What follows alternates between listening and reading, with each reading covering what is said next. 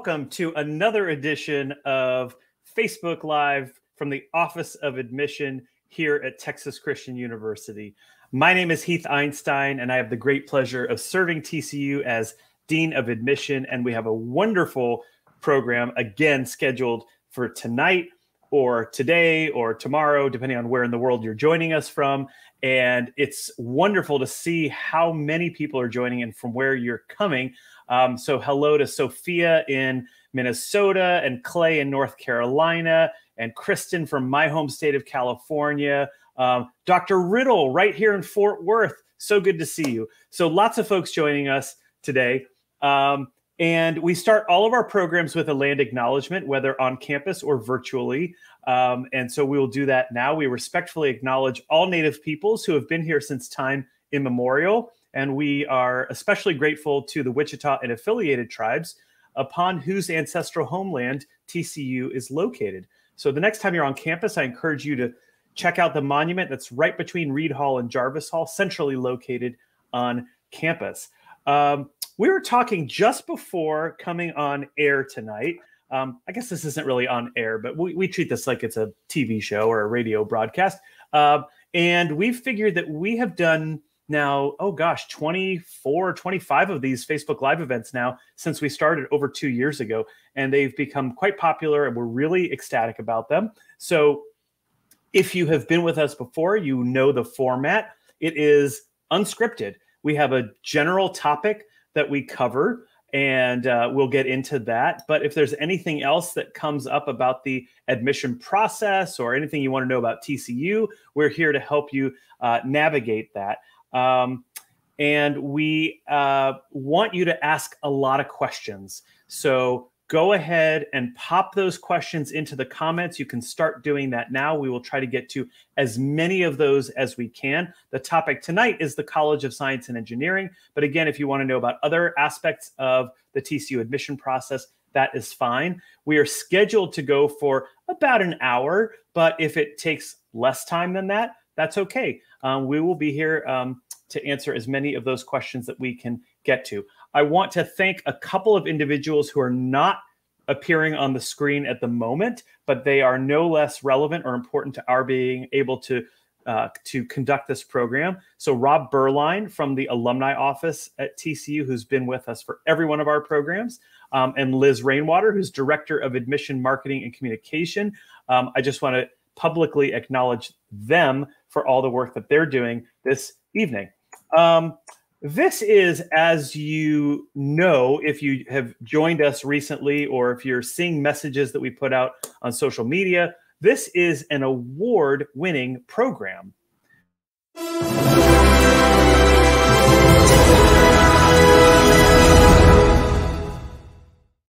And wow. here is, yeah, here is the trophy that we got. This is pretty exciting. 38th annual EduAd Awards Gold winner, Facebook Live.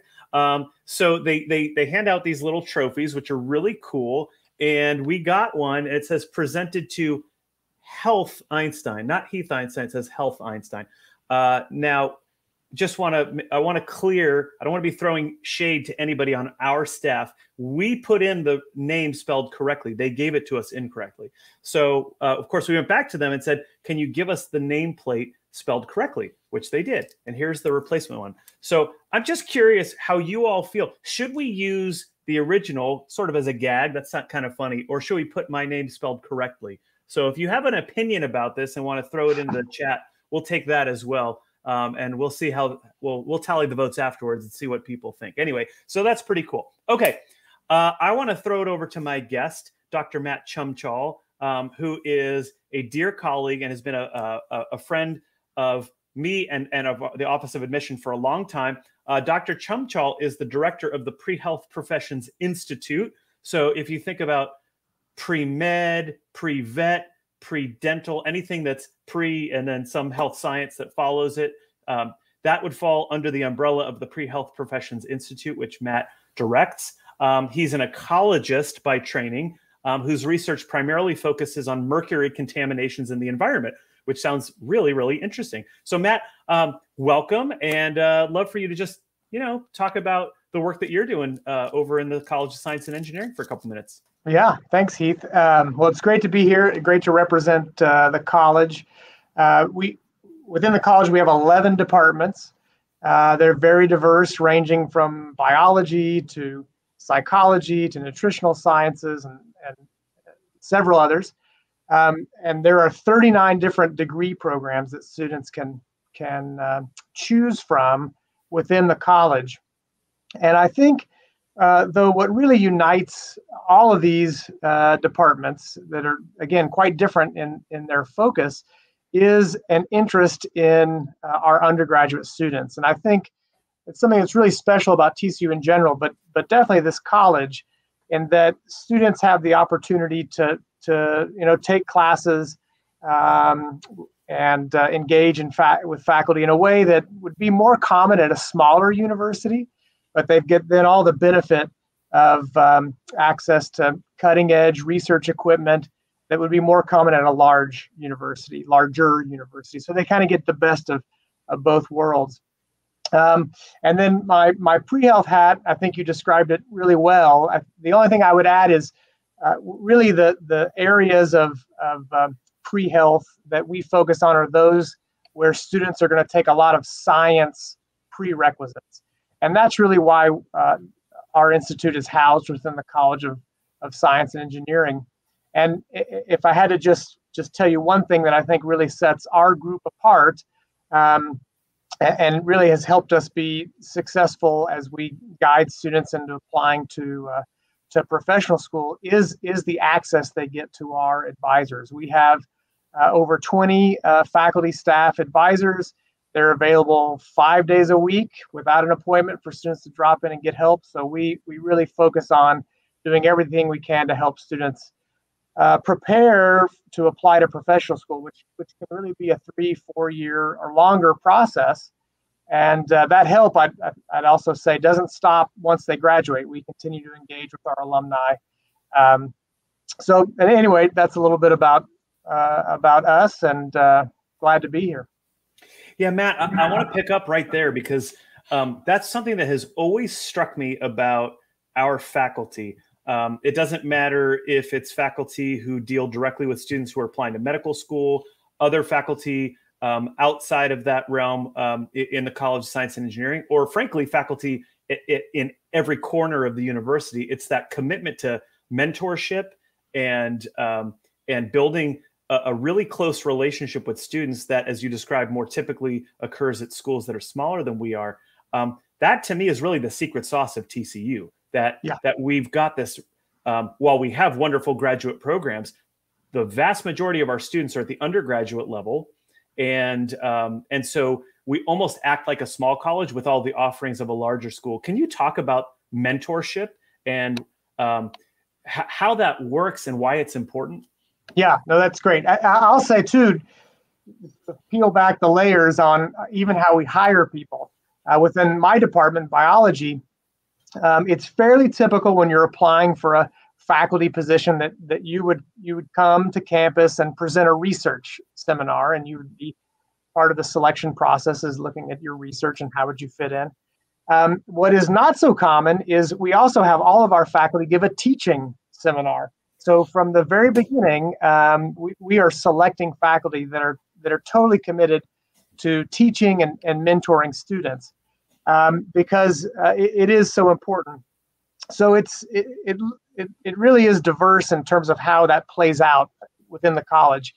Um, it, it could be just um, in in some of our smaller classes where faculty have the, the chance to really get to know students and through them coming by uh, meeting with them during office hours. That's where a lot of the mentoring take place takes place. Um, throughout our college, most advisors are faculty advisors. So the same folks you'll be seeing in the classroom is the same people who'll be advising you, helping you decide what classes to take, but also, you know, if if maybe you need a tweak to your study strategies or you're thinking about uh, getting involved in research or thinking about looking for an internship, that same faculty advisor is going to be there to, to help. Um, but mentorship uh, also in our college looks like uh, working with, with students in research. And again, that's an area that I think uh, really sets our, our college apart, and that around 40% of st- uh, or so of our students will work with faculty on a research project before uh, graduating.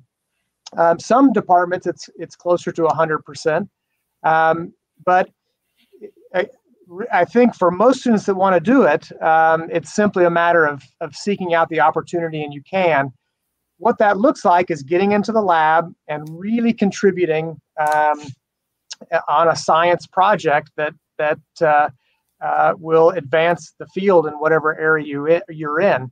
So students get to learn how to use use the equipment, how to work with the primary literature, um, and most of our students will then present their research at a uh, our internal um, uh, student research symposium some of them at uh, national and international meetings, and a few will end up uh, as co-authors on on publications. And that's that's actually fairly common uh, throughout our all of our departments, and really not something you see too often at, at many larger universities. Just just because the focus uh, is it has to be on graduate students.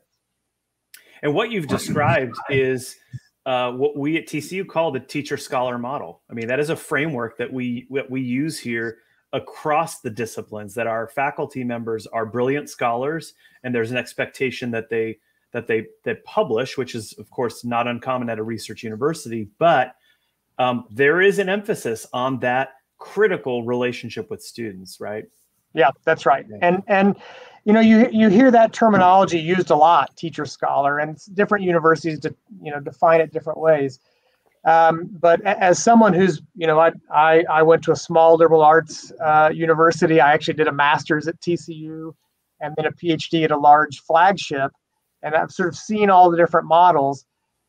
Our teacher scholar model is really great in that it combines uh, all of the elements you just discussed. The, the faculty that, that end up teaching our students here, we're often teaching about things we discovered in the research lab um, so students sort of get the cutting edge in the class, but then uh, the benefit is they can then walk walk into our research lab and actually participate in that in that process of science.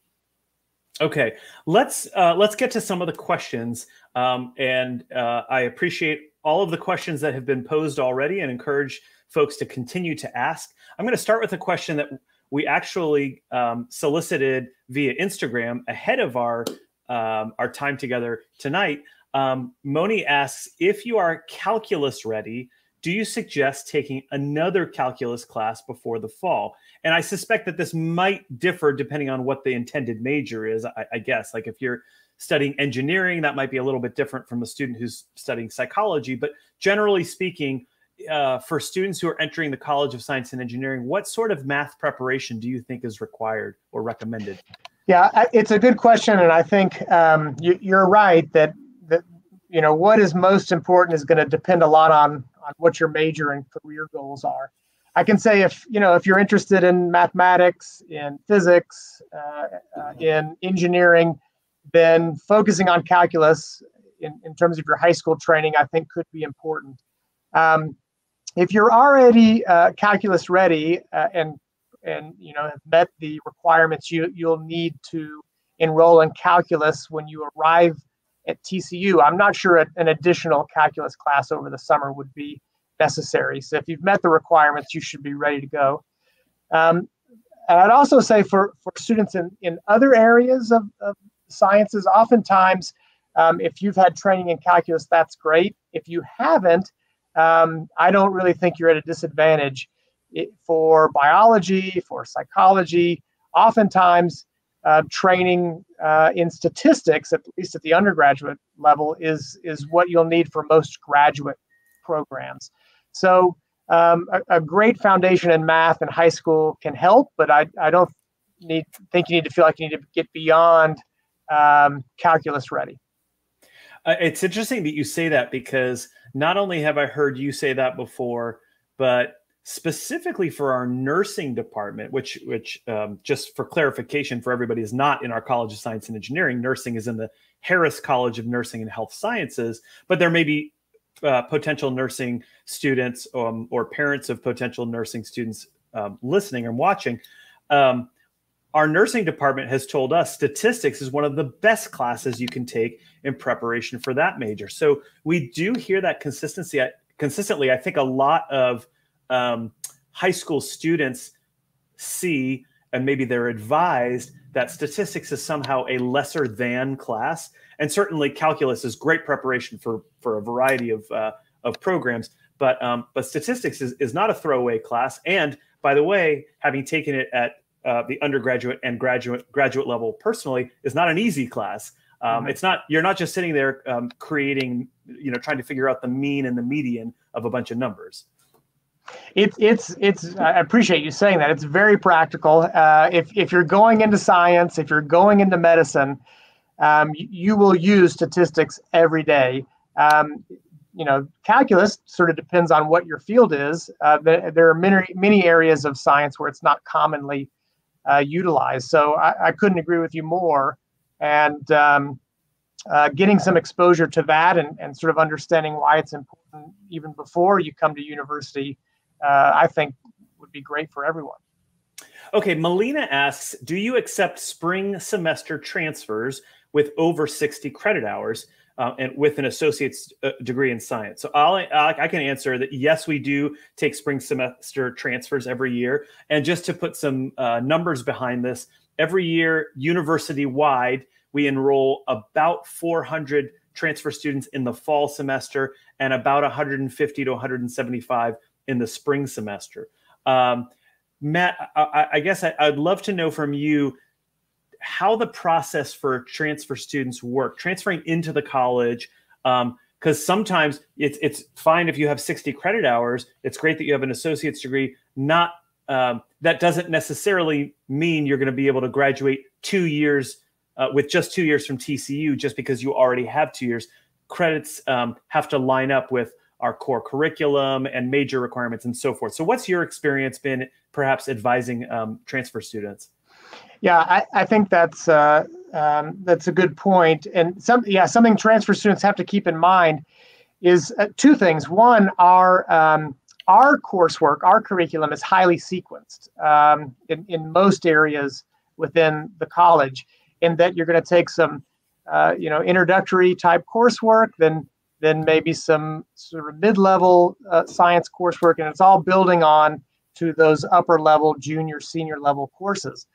Um, and sometimes the, the science uh, coursework or training they, they come in may not align perfectly with uh, what, what we're going to be delivering to them during those introductory courses. So um, sometimes uh, any transfer student is going to meet with uh, an advisor and they uh, who's a specialist in the department they're coming into.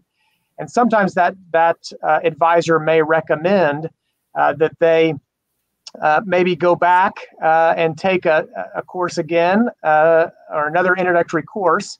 So that's a common recommendation, often just to make sure they really have that firm foundation so that they can succeed in the upper level classes and um, depends on the department but you know if they do well sometimes then there's opportunities to sort of skip skip ahead and the other piece of this that's really important to understand is these science courses in in all of our departments are quite quite rigorous um, and so sometimes uh, students come in uh, they've they've completed uh, lots of coursework, maybe not science coursework, and uh, want to focus exclusively on science.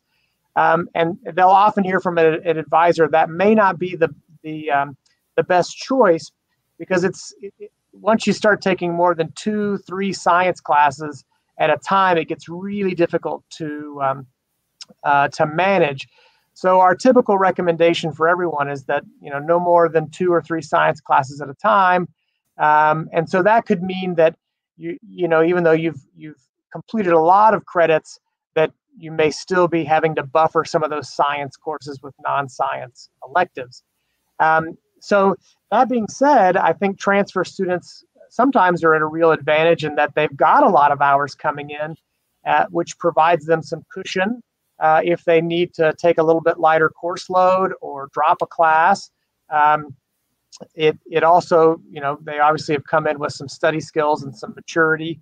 That can be a, a, a great advantage. Um, but I, I, do think it's important to know that it doesn't always really reduce uh, the amount of time dramatically.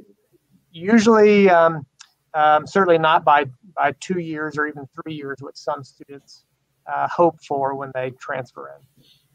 I'm going to ask another uh, transfer related question. Hannah asks, asks, I'm currently doing my associate's degree while in high school, and I'll have a total of 60 credit hours that will transfer. Uh, or will I be classified as a freshman still or a junior? And I can answer that. And that is, um, well, sort of both.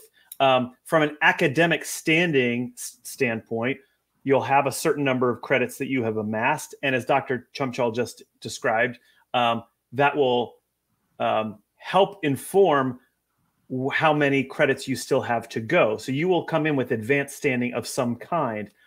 Um, however, from a residential standpoint, because you're coming straight from high school, you are treated residentially as a first year student. So uh, our students are required to live on campus for two years. So you would still live on campus for two years, even if you had 60 credits coming in and, and from an academic standpoint, maybe a, a, a second or third year student. So I hope that hope that helps.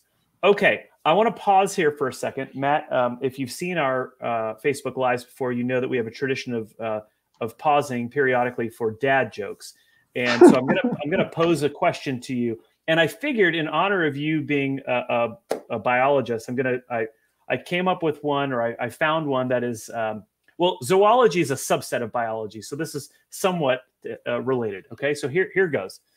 What did the orca mm. say to his Valentine? Mm. What did the orca say to his Valentine? Wow. I'm I'm looking for killer or uh, whale. Or, yes, yes, you're on the right track. Oh man, I don't know. Give it to me. Will you be mine? Oh boy, worse than I thought. Yeah, I'm. I'm giving. I'm giving you partial credit for that. Yeah. Okay. All right. Okay. okay. Good, good I got the pun at least. Yeah. Exactly. Okay. Uh, let's see. Uh, Lily asks, do you have to apply to pre-health and able to get into that area, or do you just apply to TCU as a whole? Um, and Matt, can you describe the difference between um, pre-health being a track versus having a major at TCU? Because the answer, Lily, to your question is you apply to the university and select an intended major. But how does this track work alongside a major? Yeah, that's great. So um, as Heath is alluding to, we are not a major, um, and I may not have said that directly. Um, we're, we're really an academic enhancing program. We're here to provide advising, to provide help with getting ready to interview, to provide um, opportunities to shadow physicians, um, and a lot of other things. Uh, but every student who's pre-health is also going to select a major. So um, there's uh, before I describe them this, those majors, I do want to say one thing, and, and that is anybody who raises their hand and says, "I am pre-health," we're here for you and are going to help and support you. So that's also a, uh, something that's a little different than some other universities. We don't have a GPA requirement. We don't have a standardized test score requirement. Uh, anyone who wants our assistance gets it and is is pre-health. So Lily, um, if as soon as you enter the university, if you want to be pre-health, you, you would be. Uh, in terms of majors, um, again, many there are many you know majors that'll work with pre-health. There's not one specific area you have to focus on. Uh, like we mentioned at the outset of the show, uh, most of the prerequisites that are uh, pre-med, pre-dent, pre-vet, etc. students are going to take are science prerequisites. Um, and those professional schools want to see, um, uh, you know, um, some some pretty strong training in the sciences. So oftentimes it's efficient um, and or to the student's advantage to major within a traditional science. That's what most of our students do. But um, the truth is, as long as you can complete those science prerequisites and let um, uh, demonstrate to a professional school that, that you have good science training, you can major in, in just about anything within the university. Uh, there are some majors where you know that that the, the sort of combination with pre-health is is is not ideal because of um, uh, a variety of, of sort of requirements and scheduling difficulties. But uh, most things work, and um, we've got students every year majoring in in almost anything you can think of throughout the university. Yeah, I, I always use I always say it's like remember Elle Woods in Legally Blonde. You know, she went on to, to Harvard Law School having majored in, in fashion, and and you you really you can major in, in anything uh, uh, more or less at the undergraduate level here and still and still pair that with pre-health. It might limit the flexibility you have with some of your elective classes, right? Um, but but it certainly can be done. Now let me uh, let me since we're talking about this, give you one sort of myth that we hear a lot. So. Um, when you're deciding what you you should major in, I, I, I really think you need to follow your interest, your passion, your aptitude, and select your your major. You know, from from that list. What I wouldn't recommend is choosing a major you think is going to look good, um, because ultimately, you know, you have to do the work. You have to be happy with this, and if and if this is an area you're passionate about, whatever it is, whether it's science or non-science, then I think you're going to be more successful. I, I, see some bad advice on the internet and Reddit and other places that, you know, most students who go to professional school major in the sciences. So to set yourself apart, major outside of the science. um, and I, I mean, I, you got to think about this from the other direction. Most students are majoring in the sciences because that works so well um, and is so efficient. And most people interested in professional school really enjoy the sciences. Um, so if that's you, you should embrace it and major in the sciences. If you've got a passion for history, uh, English, Spanish, whatever it may be, major in that, and we can work with you about uh, working in those science prerequisites. But don't do it just because you think it sounds good. Yeah, that's it's a great point. I mean, occasionally you'll have conversations with students. We'll have conversations with students, and they'll say, "I really want to be a doctor, but yeah, I hate science." And it's like, oh well, that's you, you might you might want to think about an alternate career then, because that's if you hate science, this probably is not the thing you want to go into.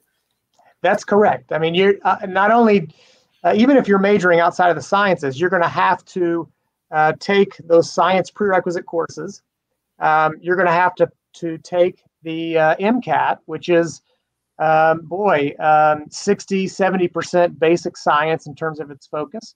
Uh, and then, you know, your uh, your first several years of professional school and uh, uh, in a direct basic science way are going to focus on the sciences, and then it'll be applied science from there on out. So yes, I, I would agree. If, if science is the problem, then uh, there are other ways you can uh, be in a helping profession, even be in a healthcare profession that doesn't have the same focus on mm-hmm. science that medicine does.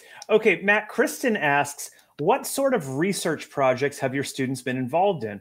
What year does that normally happen? Do freshmen conduct research projects?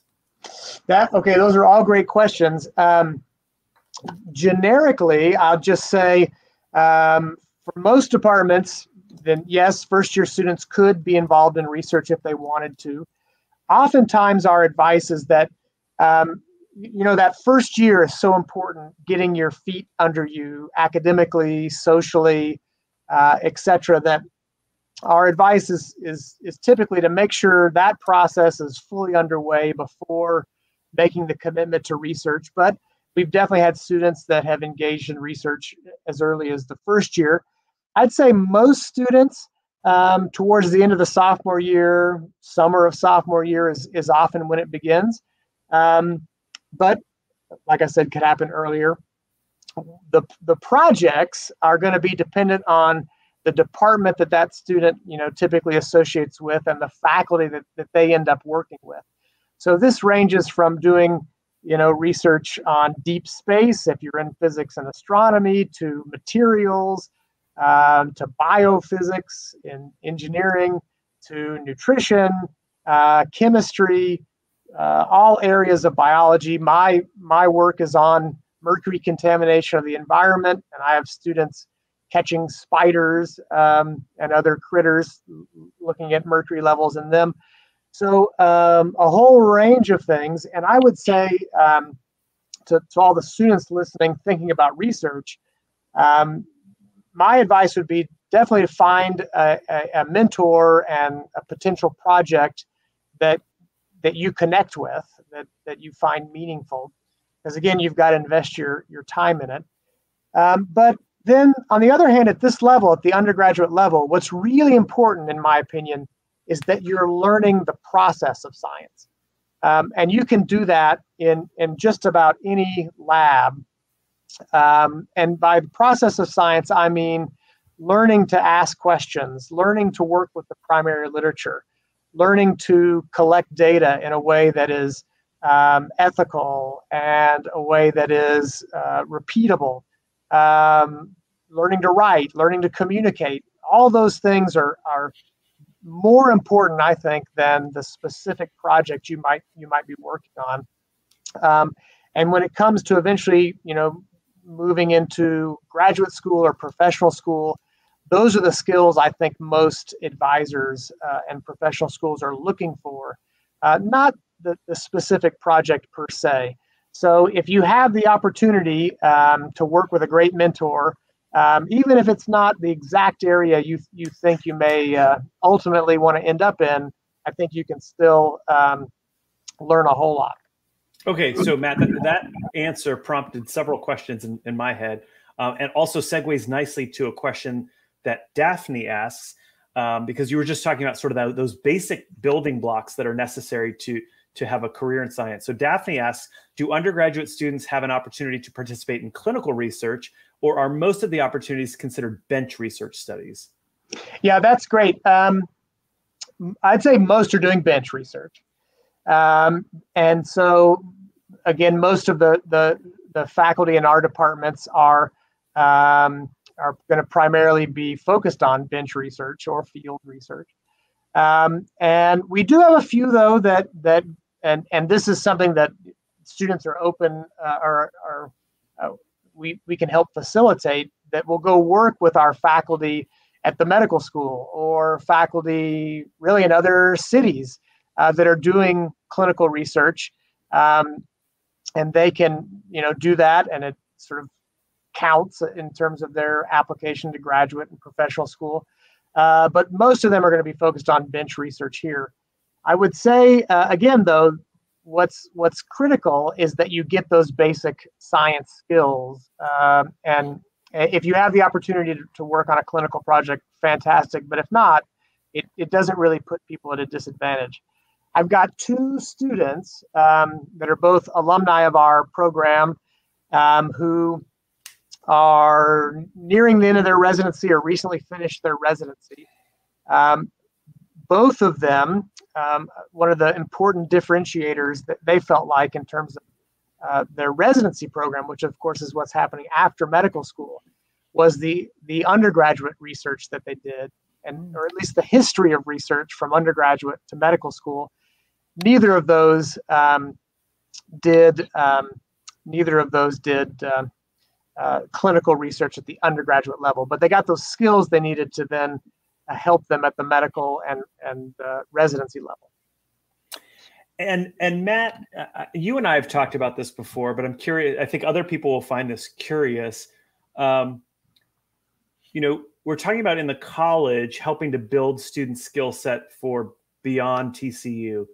What are the skills you think are particularly valuable or what are the traits that you can identify that would suggest a student is going to be successful in these areas. Like are, are there any discernible patterns that you've been able to to um, to observe that says okay here's a student who's likely to succeed based on having traits x y or z?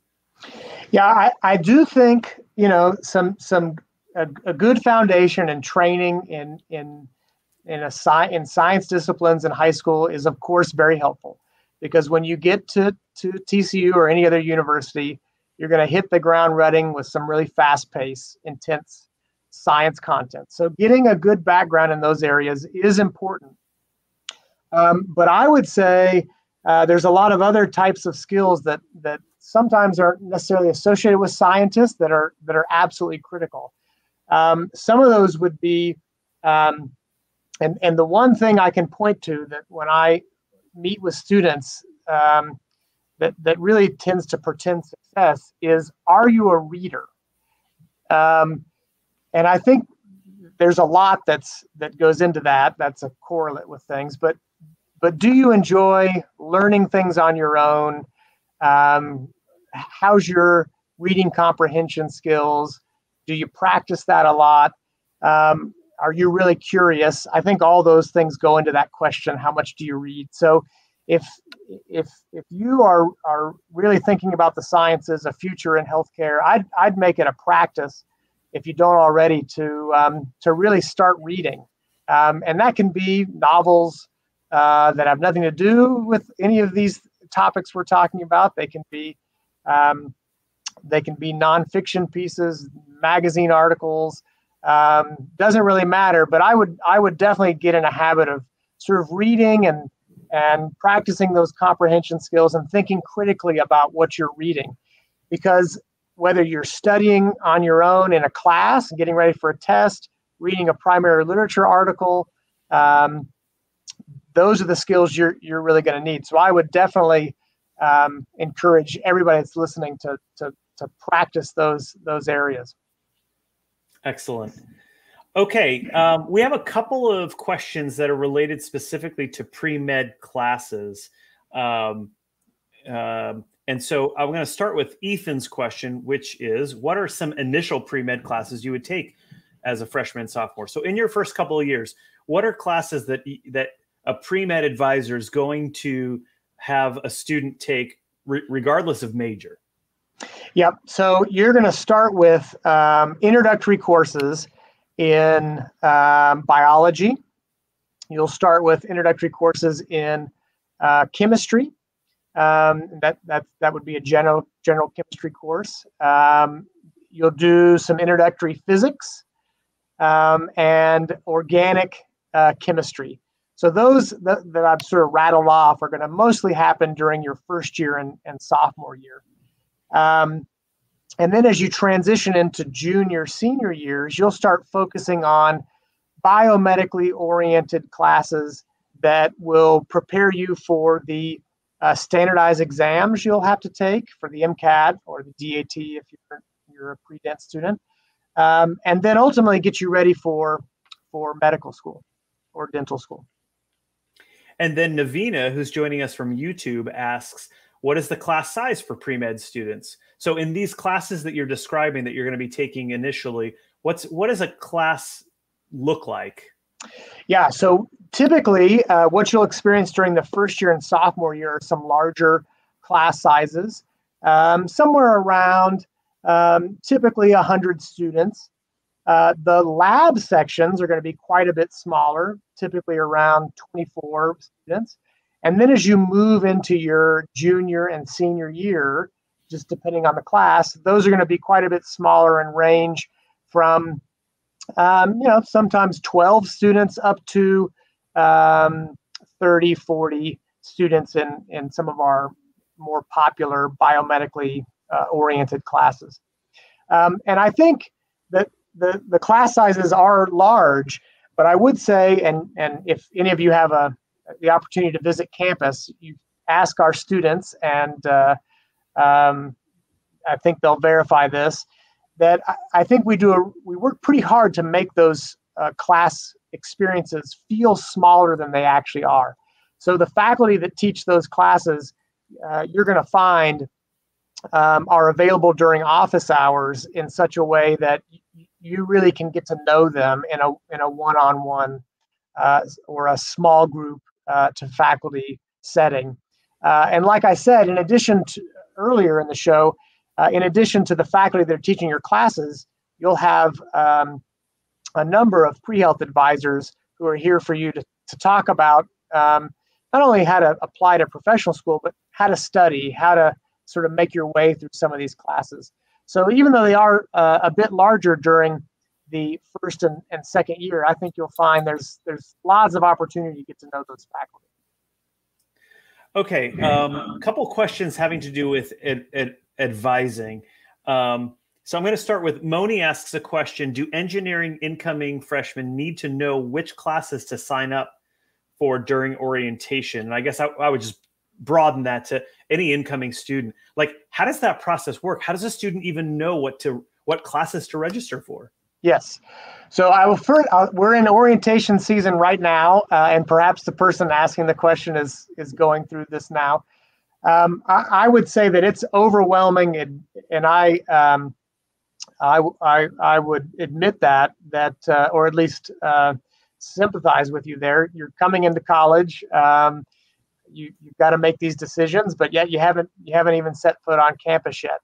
Um, and I want to reassure everybody that uh, throughout the college, we're going to have advisors that are going to work with you and make sure you know exactly what courses you need to be taking. So, um, throughout uh, all of our departments, there's typically going to be an introductory class or two within the sciences you'd be selecting, and then some uh, uh, elective courses uh, or core classes that uh, are uh, the types of classes that every incoming student at TCU would take and eventually have to complete prior to graduation.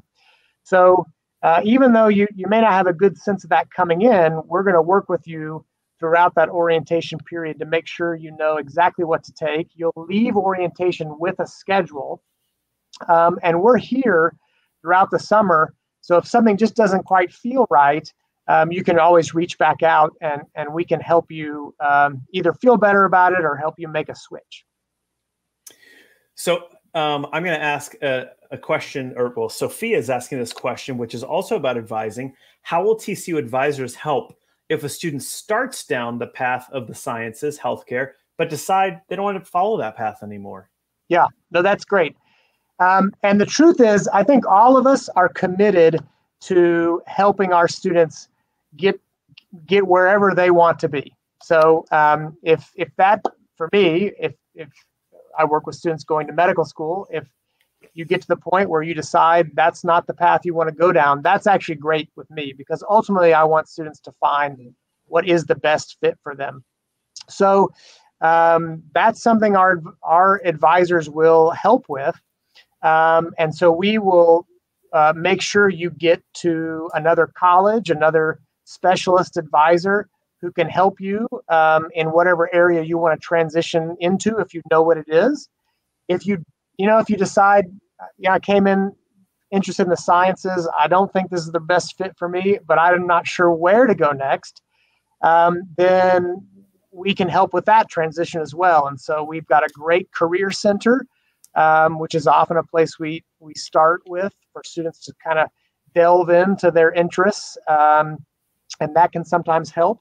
Uh, within our college, uh, we have a career center representative who actually teaches a class on, um, you know, finding different careers within the sciences and also just g- generically what are your interests. So there's a number of tools we can use as advisors to help students transition to other areas of the university.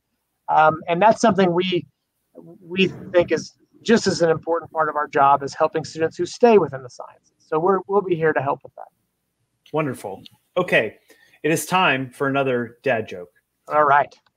Okay. Take a deep breath. You can do this. Um, it's also uh, it falls under the uh, zoological sciences and there's an mm-hmm. academic bent to it so this really should be right up your alley perfect what subject in school do cattle like the most? What subject in school do cattle? Uh, they don't like. They like movies, but they that, do. That's not. That, that's in their free time, maybe. Yes, that's good. That's good. Um, oh, oh man, boy, you, you're on, you're on the right track though. Maybe mathematics, or you're not. You're not that close. Cudulus. Yeah. Well. Uh, uh, calculus. Calculus.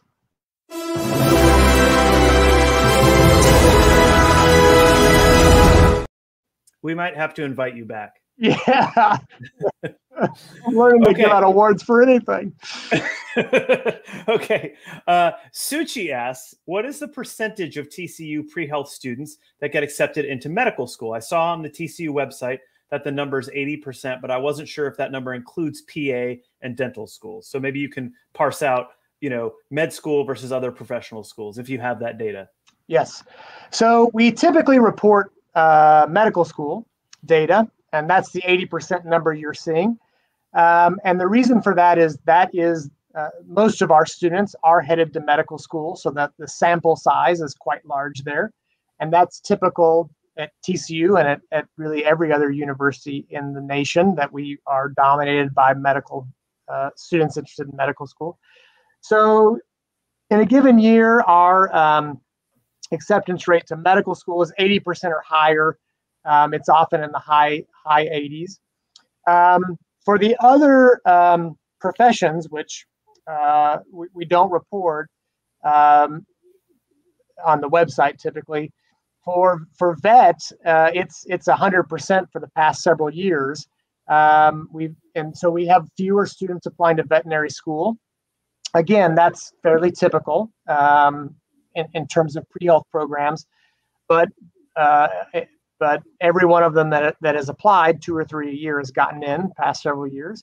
Uh, for dental school, it would be um, 88%, like you're seeing on the screen, for medical school or higher in a given year. Again, most of our dental students uh, um, get in.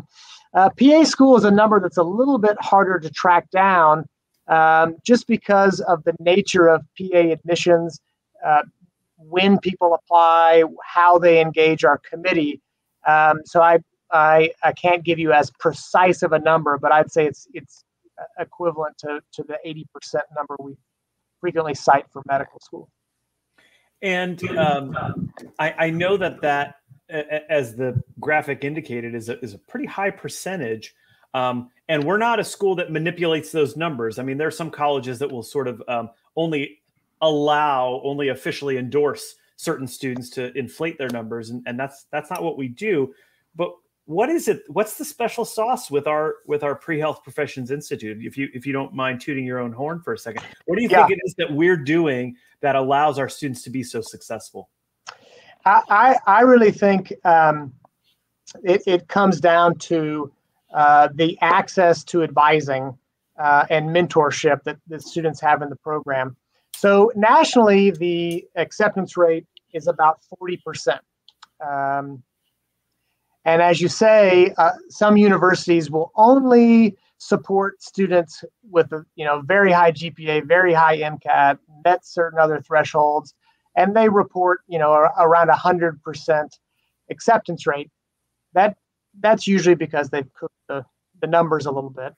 Um, I'll so it, it, to talk more about that support, we start during our first year with a seminar for all pre-health students where we're going to talk talk uh, and learn about um, all the resources we offer to our students how to access those, and those range from clinical shadowing programs um, to volunteer programs to um, research offered by uh, our partner departments and faculty. Um, but we also talk about, you know, really thinking about why are you doing this? What are your goals? What's motivating you? Um, how do you stay the course? Uh, you know, when you're when you feel like you're ready to throw in the towel. How do you learn new study habits? So we'll start that you know, during the first year, like I said, we remain with our students in terms of advising throughout all four years um, and uh, have drop, a, a, a drop in advising system such that every day of the week there's a faculty advisor available. Uh, and so if a student ever has a question, you can get those, those questions answered. And then we sort of cap it uh, all off with a, uh, an experience during uh, the junior or senior year where students take a three hour class that's really all about how to put together uh, an application and prepare for that, that process to be successful. So um, we will, uh, you know, provide all the information you need to write a personal statement, talk about how to reflect on your experiences, uh, et cetera, et cetera. So when it's time to apply, you really know what you're doing and, and know if, if you're ready to be successful or maybe you should wait a year or two prior to applying.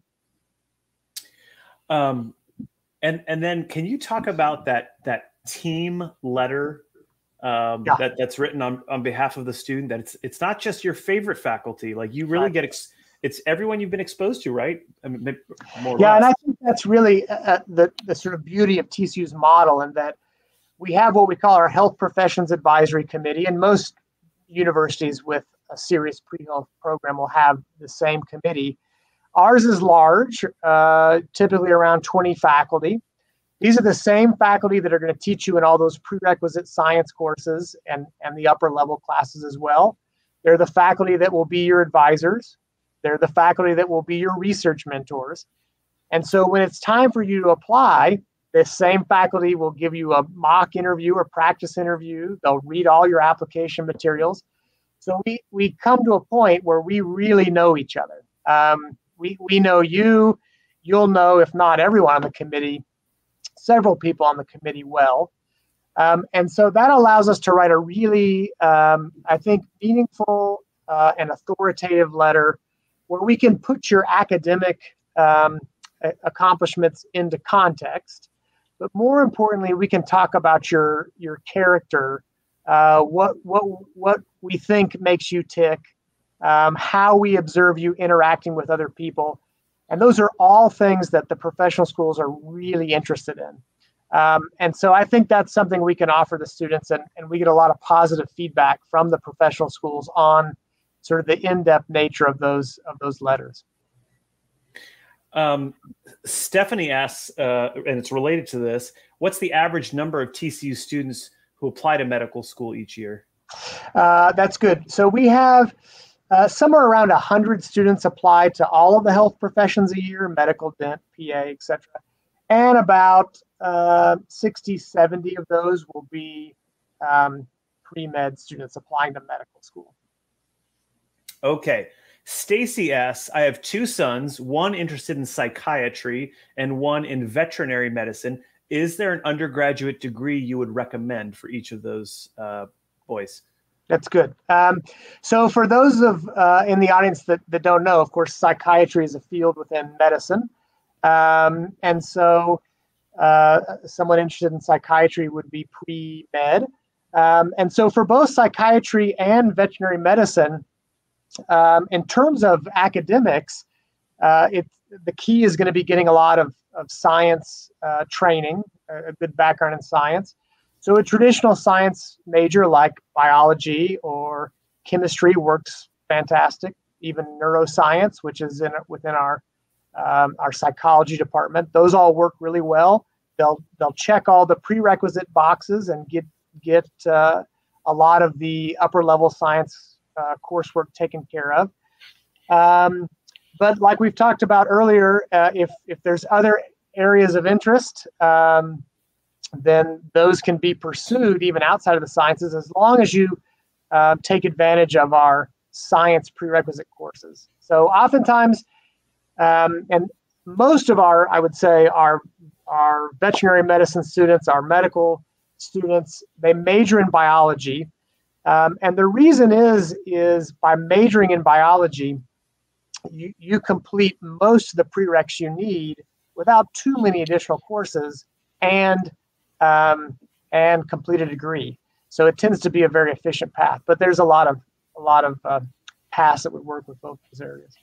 Great. Stephanie asks, do you apply directly to your major? If yes, which majors are more competitive as to acceptance rates? And then what are the most popular majors for pre-med students? So I'll, I'll take the first couple of questions um, and, um, and we can revisit your part of it.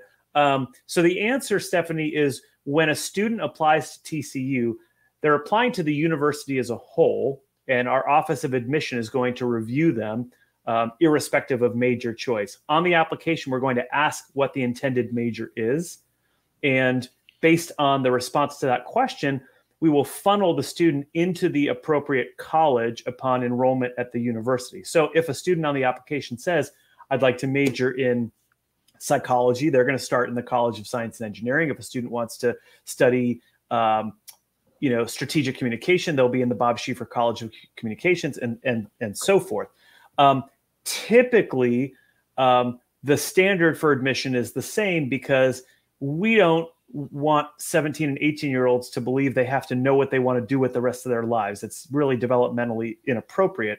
Um, it's okay to come to college not knowing what you want to do and to change your mind. And our curriculum is really flexible and designed to allow students to do just that. There are some exceptions. Nursing is probably the best exception because it is a four year lockstep program. If you don't start in nursing in the first semester, you, you won't be able to graduate um, in in four uh, in four years. Now, some majors are more popular than other majors, so um, so it, it could be a little more competitive, but that will just depend on the applicant year, um, as each application or each applicant pool is a little bit different from one another. Business is always really popular at TCU, but we have a lot of space in the business school, so it's not like the acceptance rate is really that far out of um, out of step with the other majors. Similarly, the College of Science and Engineering is the second largest TCU college. So there are a lot of students who are st- studying in the College of Science and Engineering. Um, we have a lot of students who apply, and then a lot of students who are admitted and, and, and therefore uh, enrolled. What I will say is the College of Science and Engineering, um, on average, uh, attracts a slightly higher caliber of student. So one out of every um, three students in the Honors College is in the College of Science and Engineering, and 40% of our Chancellor Scholars, which is our top academic scholarship, are students in the College of Science and Engineering. So um, even though the admit rate might be a little bit similar, it is a slightly more competitive pool um, to to get into that uh, to get into one of those majors. But again, we're not talking about huge differences because we want students to be able to change their uh, change their minds. Now, as to the question of popular majors for pre-med students, Matt, I know we've talked about this in the past, uh, not on here, but but personally, and we know that uh, you mentioned a few of them: biology, chemistry, neuroscience, biochemistry. Those are really common. Are there other majors that you would say are super popular, or does it sort of are, are those the four that really stand out? Uh, those would be the four. Yeah, biology, chemistry, and biochemistry, neuroscience, by far and away uh, our most popular major. Um, typically, if a student is majoring outside of the sciences, they tend tend to choose a liberal arts major. Those pair really well with with uh, some of the either as a double major uh, a science major or um, minoring in a science, um, and reflects the fact that that uh, frankly medicine is more than than science. Uh, uh so there is a real need uh, to um, uh, as a, as a, someone wanting to apply to professional school, develop your your inter and intra personal skills to, to develop your cultural competence, and oftentimes majors um, outside of um, the College of Science and Engineering in a place like um, AddRan College of Liberal Arts are fantastic for that. So we see a fair number of those majors. Business is uh, uh, somewhat common.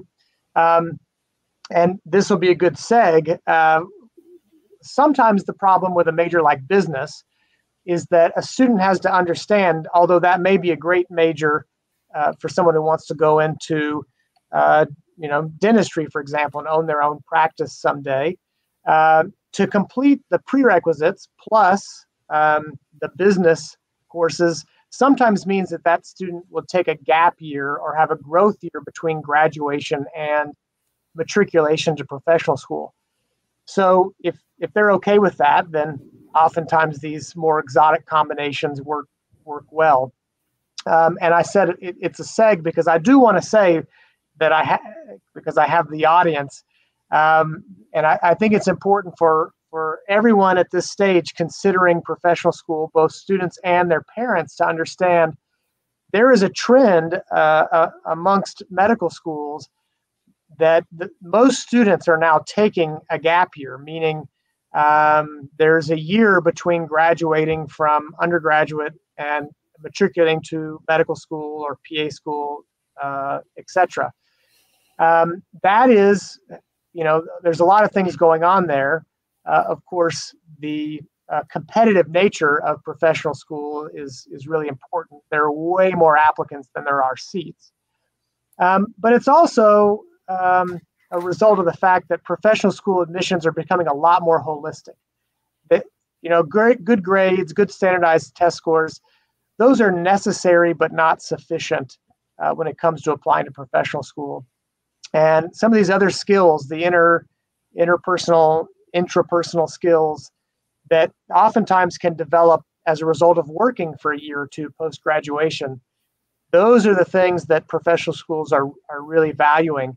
So um, I think it's important to know and think about from the from the outset that that's oftentimes part of a successful application is waiting a year or two post graduation before applying. That is an excellent way to uh, to end our time together. Um, so thank you so much. I do have one last question. That is, it is now seven o'clock Central Time. What are you doing for dinner? What's on the What's on the menu at, at home?